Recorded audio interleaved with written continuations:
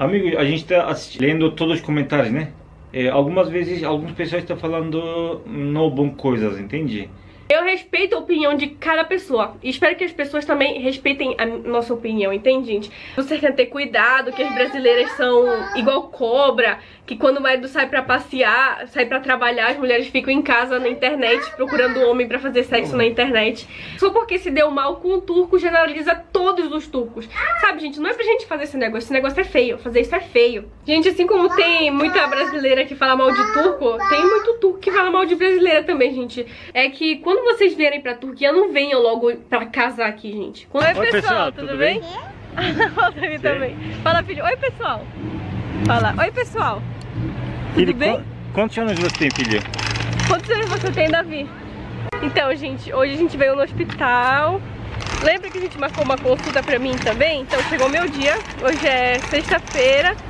E aí eu vou ver o que, que tem no meu olho, porque que eu não consigo ler direito de longe. Eu acho que eu vou precisar usar óculos, gente. O Serkan já foi se consultar no dentista dele. Não foi bem, essa semana o Serkan foi pro dentista, só que ele não filmou. Por quê? Por que você não filmou? Porque dentro do hospital eh, eles não estão deixando fazer Ah, é. fazendo besteira alguma coisa. É, eles ficam falando. Então, gente, vamos lá ver o que, que tem no meu olho.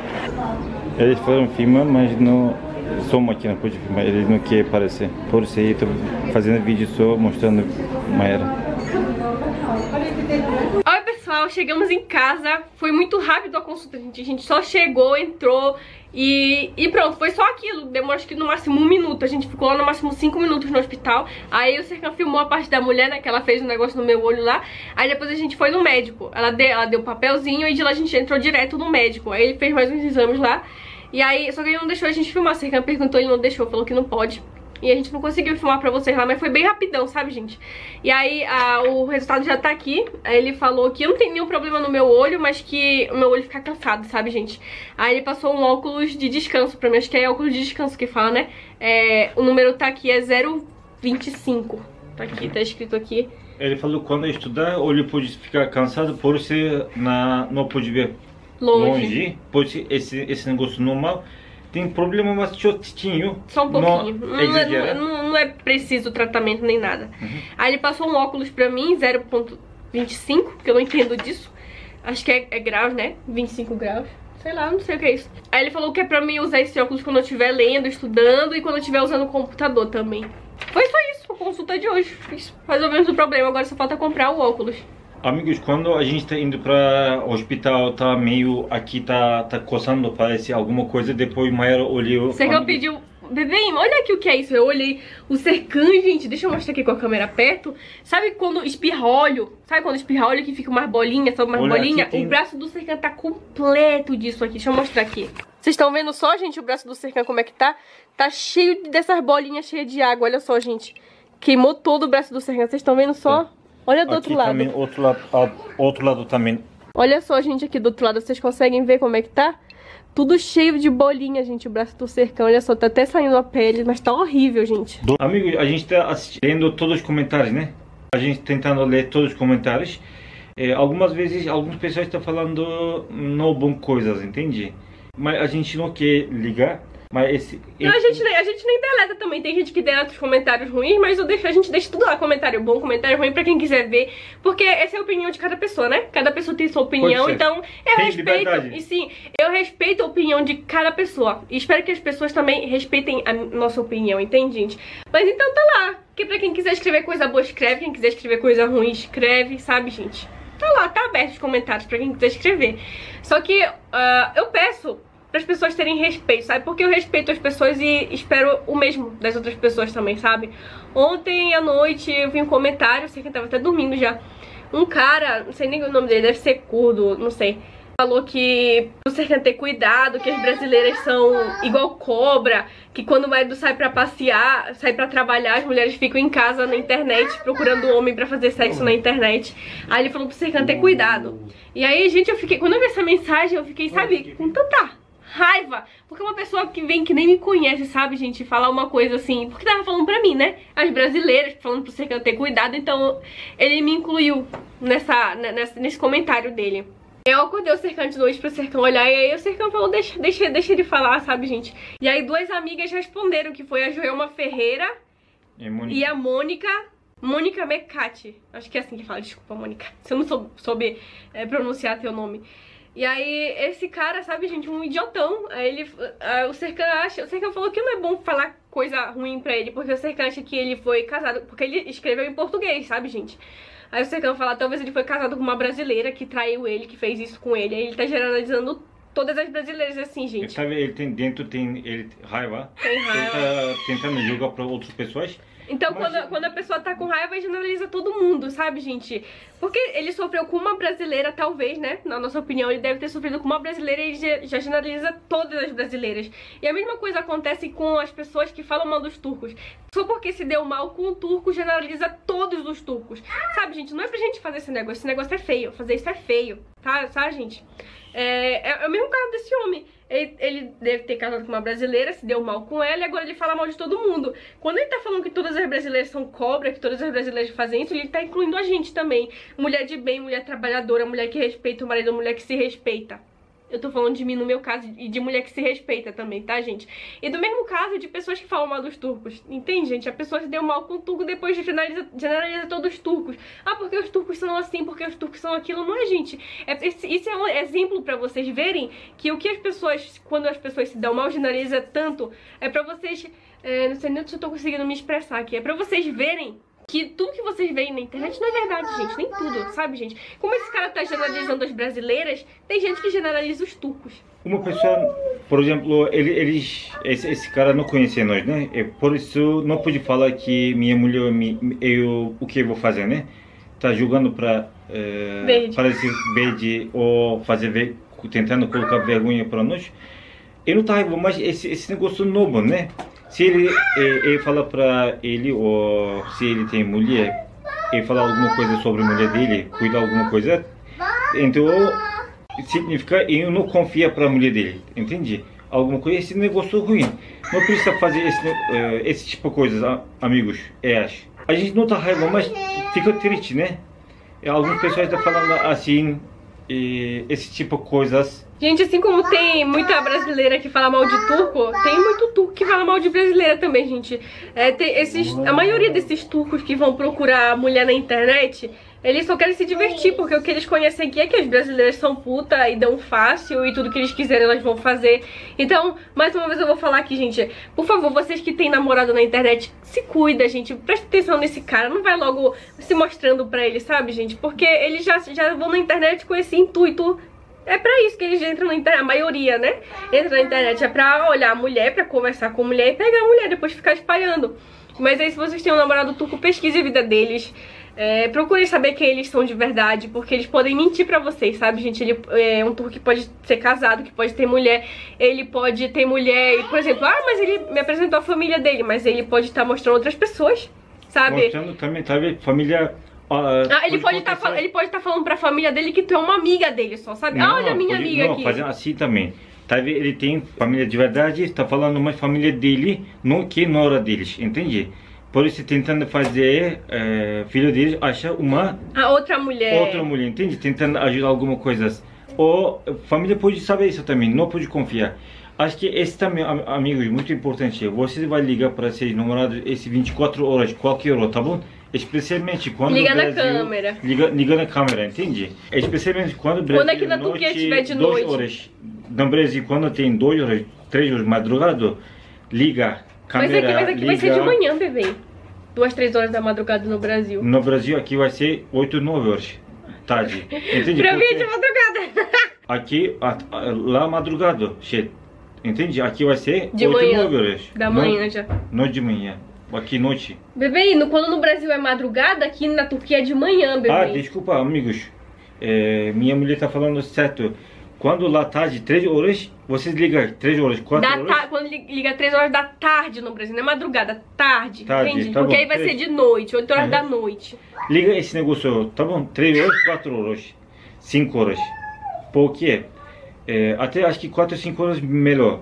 Porque um monte de pessoas vai, por exemplo, homem vai passear na ru- rua, vai chegar para casa na- depois que trabalhou, vai ser quase 9 horas, tá bom? 10 Mas aí, aí ele, 11 pode, horas. ele pode te mostrar o amigo dele também, gente. Não confia, porque o amigo dele deve ser do mesmo jeito, faria do mesmo saco também, entende, Uhum. gente? Quando ligar, vocês ligam, por exemplo, uma semana. tá bom? Vocês falam que só pode ter internet essa hora, ou tem uma... Uhum. Descobrir alguma coisa, entende? Ou se o trabalho está livre, alguma coisa, esse tipo de coisas, pode falar, liga. Depois que essa hora, se ele abrir câmera rapidinho, conversar com vocês, esse mais tranquilo. Não pode ficar preocupado. Mas ainda assim tem que ter um, um pra- preocupaçãozinha também. Outra coisa que eu quero falar pra vocês, que eu pensei em falar em outro vídeo, mas eu vou falar aqui agora também, é que quando vocês vierem pra Turquia, não venham logo pra casar aqui, gente. Quando vocês vierem do Brasil, não vem logo pra casar, vem pra cá, passa um mês, sabe, gente? Vem com a passagem de ida e volta. Não vem logo direto pra ficar, gente, porque isso pode ser é uma coisa que eu fiz, É mas eu tive isso sorte, é mas, mas eu tive sorte porque o Serquei é um cara legal, a família dele também. Mas aí, se tu viajar com passagem só de vinda e tu não gostar do lugar, tua sogra te encher o saco. E outra coisa também, gente, pelo amor de Deus, quando vocês vierem morar na Turquia, casar com um turco, gente, vem pra ficar na casa de vocês. Pelo amor de Allah. Vem pra ficar na casa de vocês, não fica em casa de sogra, gente. Fala pro teu marido, gente. Eu só vou morar pra Turquia se eu tiver a minha casa. Ou que seja alugada ou que seja minha. Mas eu quero morar na minha casa, porque, gente, morar com sogra não dá. Não dá, não dá, não dá, não dá, gente. Isso que eu, sabe? Eu, isso que eu aconselho vocês. Quando vocês vierem pra cá, já vem pra ficar. Sai do aeroporto, vai pra tua casa, vai pra casa da tua sogra, come, conhece o pessoal, depois vai pra tua casa.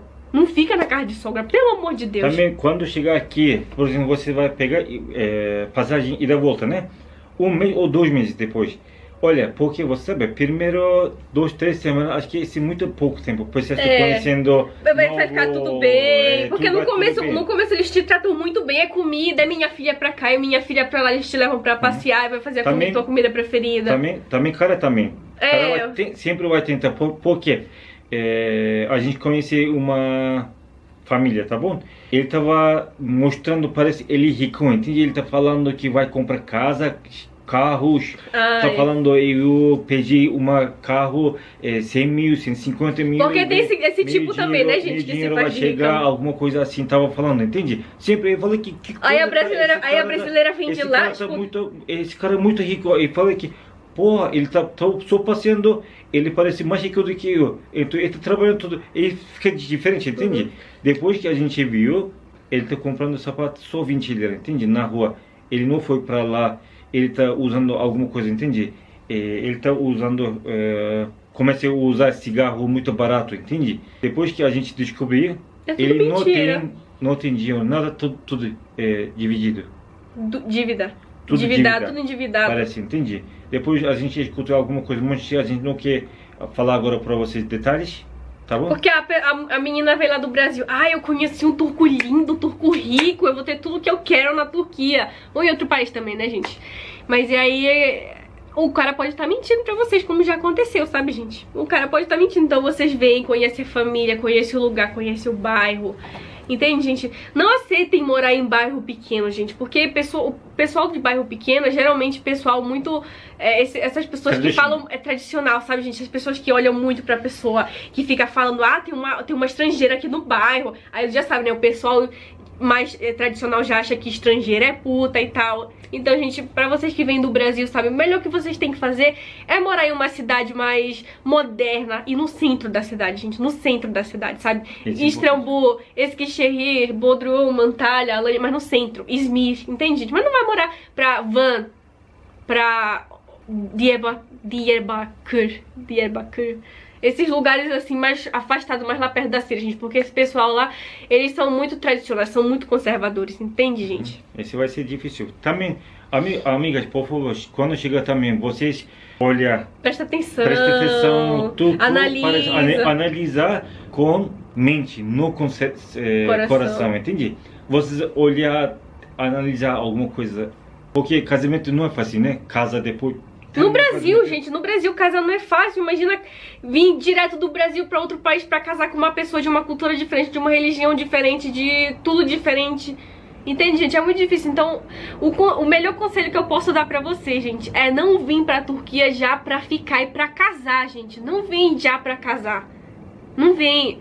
Primeiro vem, conhece a família, conhece o namorado, depois volta pro Brasil, depois pensa, é isso que eu quero pra mim de verdade? Aí depois tu pensa, se tu quiser vir morar pra cá, eu vem. vou ser feliz alguma coisa, entende? E se der errado? E se depois de 4, 5 anos eu não quiser mais ele? E se a gente tiver um filho? O que vai acontecer? Quem vai ficar com o menino? Eu vou morar na Turquia? Eu vou trabalhar na Turquia? Eu posso trabalhar na Turquia? Então se você quiser a gente pode fazer um vídeo também contando é, o que uma brasileira pode fazer se der errado depois do casamento. Isso é uma boa ideia, né? Essa. O que uma brasileira pode fazer se der errado, se terminar, se der divórcio, entende, gente? Se vocês quiserem, deixe seu like, deixa no comentário. Faz, Mayara, o vídeo se der errado, a brasileira casar com o turco, o que acontece? A brasileira pode trabalhar na Turquia? Como a brasileira pode arrumar trabalho na Turquia? O que pode acontecer? Amigas, por favor, vocês comentar o que vocês querem perguntar. Depois a gente vai fazer vídeo sobre isso, tá bom? Algumas vezes a gente eh, não tá pensando direito, a gente não tá entendendo vocês, o que vocês querem, entende? Porque a gente tá vendo que tem muitos comentários, tem, vocês têm dúvidas. A gente quer tirar essas dúvidas. Também, vocês tá conhecendo nós, né? A gente tentando mostrar para você o que A verdade. verdade, entende? O bom e o ruim. O Na Tu- a, ruim Turquia, a. Turquia não é um país, o melhor país do mundo, mas também não é o pior país do mundo. Os turcos não são as melhores pessoas do mundo e também não são as piores pessoas do mundo, entende, gente? Por isso a a gente tentando ser objetivo, tá bom? Uhum. Espero que vocês tenham gostado desse vídeo. Compartilhem, gente, se vocês estão em algum grupo assim de brasileiras casadas com estrangeiros ou com turco. Compartilhe esse vídeo para as pessoas ficarem sabendo, gente, porque eu acho que essa é uma dica muito importante, gente. Eu fiz isso, eu vim do Brasil já direto pra casar, mas nesse tempo eu não sabia de internet, eu não sabia de nada, eu não pesquisei, não procurei saber, porque eu tava cega de amor pelo Serkan. Se o Serkan fosse um filho da puta, eu tinha me fudido aqui. Desculpe a palavra, mas essa é a verdade. Entende, gente?